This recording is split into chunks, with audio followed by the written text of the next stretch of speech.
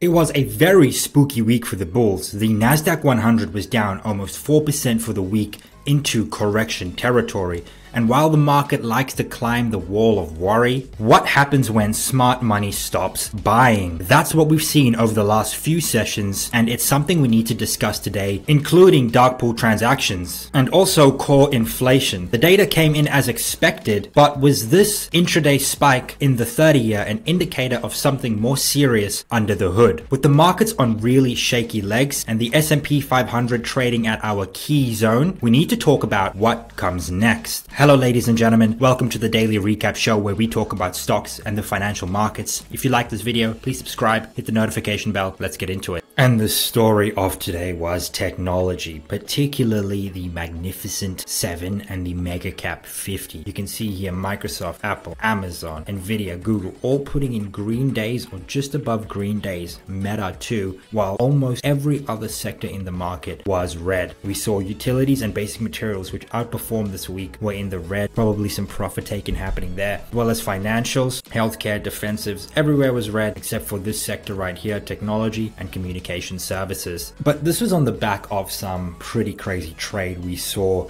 and I spoke about this earlier in the week. I think we're in the beginning of the reflation trade. And if you don't know what I mean, it comes down to economic theory. Look at the fear and greed index, and this is where we are right now. We went from fear just yesterday into extreme fear upon the capitulation. A week ago, we were in fear. We were clo very close to this area right here. But at the end of the day, this is just an indicator of retail sentiment. We need to look at what's smart money is doing. Even though we have declined from peak to trough right now, about 10% in the S&P, Smart money is still holding the line. They have sold a little bit while dumb money is selling. Who's going to be correct? I'd probably put my money on smart money. If smart money do start to sell, things could get a little bad. That being said, they are holding for now. So why is smart money not selling? It has to do with earnings right here. And this is the Q3 2023 earnings. 71% of companies beat earnings. Okay, 560 beats, 233 misses. And is this a good figure? Yeah, it is. But despite fantastic earnings, we've still sold off and we haven't made a new high high in a very long while. And I have some data here for you.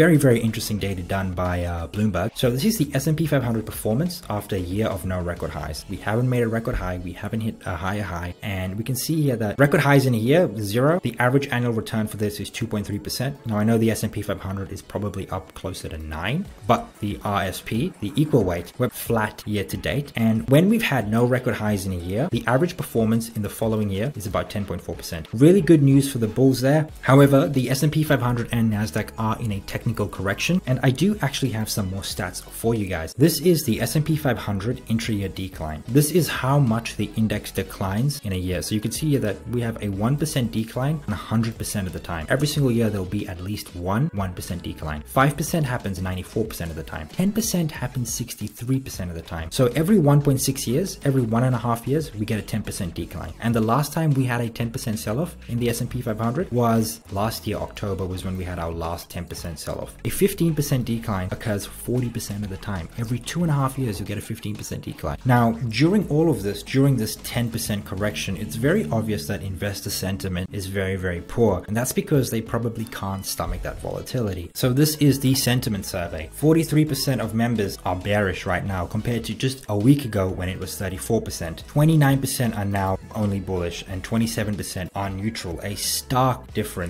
compared to just a week ago. But you have to be greedy when others are fearful. And the BOFA bull bear indicator just hit 1.5. Last week we were at 1.9. This indicator is very, very accurate at picking bottoms and we are in the buy zone right now. But this is just a technical indicator. Does it mean stocks are actually a buy? This is the S&P 500 forward 12 month PE ratio. This is the 5 year average, 5 year. This is the 10 year average. Right now we're sitting at about 17.3, which is pretty good. You sort of want PEs to get to that 16 to 17 range, still above the 17 range right there, but 17.3 all things considered pretty good. I think the market is a pretty good is pretty cheap. I see a lot of people say i wanted to get to this 15 area. Sure maybe dollar cost average there because the truth is it's very rare that we do get there we didn't even touch the 15 area last year. We did during COVID in 2018. Last time we had to get to this area though was in 2008. It's very rare we get to the 15 level or below.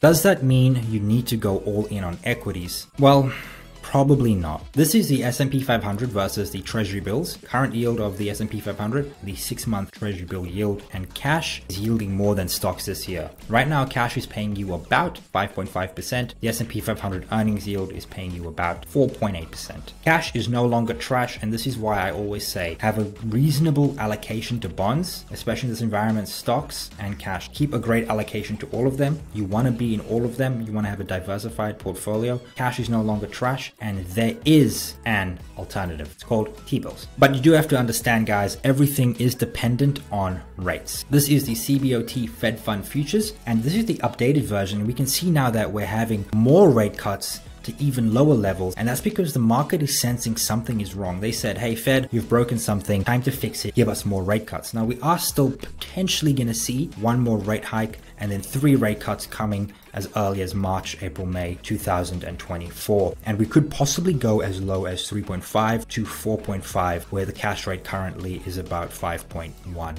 That's in 2024. What about the lead up to 2024 Q4? Let's look at the stats. And you know, we always do this seasonality. This was, this was this week, and you can actually see, so this is the average daily return from 1950 to now. This week, you can actually see that this week right here, normally a red week, and we had a red week. And again, this is the average over 70 years. And then you can see we're sort of entering this period right here, very green towards the end of October into November, all the way through to December, which is a very bullish seasonal period, especially towards the end of December where there's limited trading days. Adding on to that, so positive Jan to October, negative August, September, October. These are the returns in November, December, and both November and December. Normally we get a 2.52% return in November, 2.48% return in December, for a total return of 5.04%, 15 wins, three losses. This is just data, guys. It's just a stat. But that being said, Bulls need to make a run right now. We are at the end of October, and this is some more data. And normally stocks bottom on October 27th, and this is where we are right now. And we did see the Bulls did come back into technology to start this rally off. The Bulls need to take action right now. In the next two to three sessions, the Bulls really need to get their legs together and push this higher. Bulls need to make a charge right now, but we are actually following seasonality. This is just seasonality. We are following seasonality to a T. We've come down. We're right here. We're looking for a Q4 rally. I've said this many, many times. I am bullish into the end of the year. Like I said, we are just following seasonality and even volatility. This is the VIX 2023 and the average daily VIX. And you can see that the VIX has been unusually subdued up until most recently, where even the recent spike is no different to the average this time of year. So sure, we've had an increase in volatility and a sell down. It's normal. It's expected. This is 100% normal. In fact, we are literally at the average volatility that the VIX has been from 1990 to 2022 in 2023. And the S&P 500 is at our target zone for longs. I put this on Twitter. The Q4 rally to commence if the XPS PX, the S&P 500, manages to stay above this zone by November the, the 2nd. November the 2nd is approaching. And this is why I said in the next two to three sessions, bulls need to make a run. At the key zone, I personally am a buyer. I am looking for a Q4 run to here, to here, into January, February. We are approaching the most bullish six month period for stocks, but I do stress bulls need to make a run. 4125, 4150 is the key zone. Let's have a look at some dark pools. Very, very interesting stuff right here. QQQ, 49th biggest trade for the year. At the lows on Friday, at the seasonal lows, we had the 49th biggest trade coming. Now it's nothing big enough to say, hey, this is going to get moving, but it is one of the biggest trades we've seen this week. You could also see another trade came in here at the lows and a phantom trade right here. This was probably a trade from the day before that only got reported today. Just something to be wary of. Adding on to that, the S&P 500 ETF Trust, huge trades came in at the lows.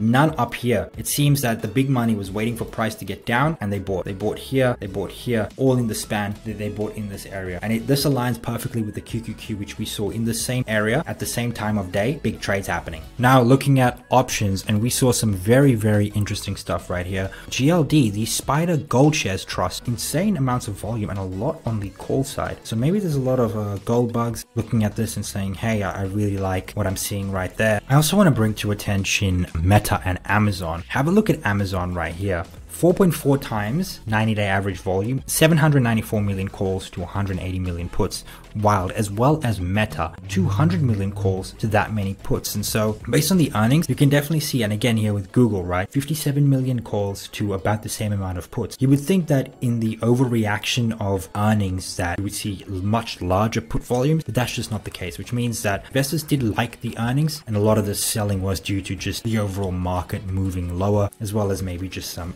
overreactions intraday. But look here, we did see you know, 50% puts to 50% calls, and um, we saw some very large volume this entire week. We did see some fairly low volume on Monday, but uh, you know, it was well above the $42 million every single day thereafter. Thank you everybody for watching. If you've made it this far, please like this video if you thought it was good quality. Leave a comment, share this video, hit subscribe. You know I love you guys. Have a good one.